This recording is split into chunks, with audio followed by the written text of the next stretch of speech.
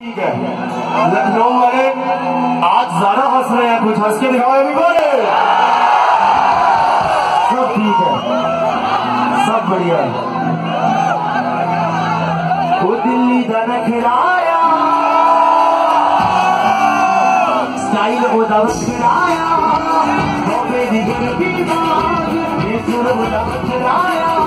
London तो आई लग दिया।